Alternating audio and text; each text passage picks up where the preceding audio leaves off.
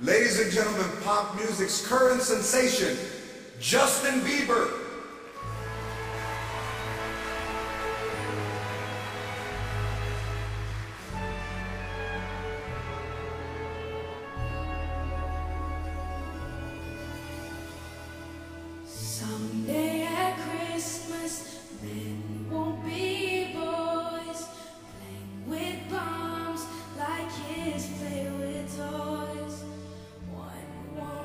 December, our hearts will see a world